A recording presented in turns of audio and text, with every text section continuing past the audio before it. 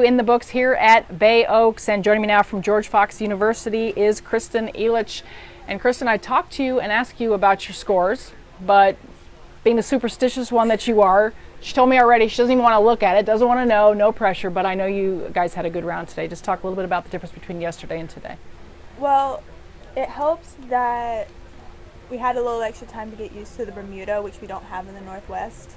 So definitely figuring out how to read and work with the speed and um, if it's going to check up when you chip or run out. So definitely figuring out how those greens react made a huge difference today.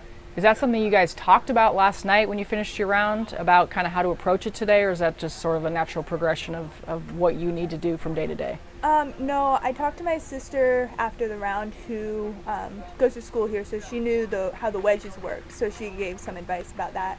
But uh, as for the putting, that was definitely a lot of learning from yesterday. The types of missed putts and how I missed them definitely told me how everything reacts on different um, breaks and lies. So that made a huge difference. So now that you've got two under your belt, kind of halfway there, are you are, are, you able to sort of take a little bit of time and, and enjoy the experience uh, of what this is all about? I know there's been some fun things for you guys. You've been down to Kemah. Mm-hmm. Um, there's just a, there's a lot of great stuff going on. Are you enjoying it at all, or are you all just that focused on, on what you have to do?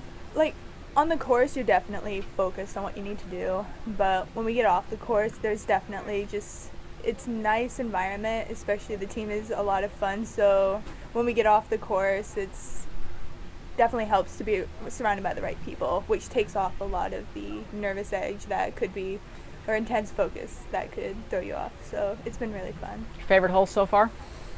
I really like five. It's my favorite driving hole. So because it's wide open. No, because I can get it really close and get it on the green too. that always helps, right? Yeah.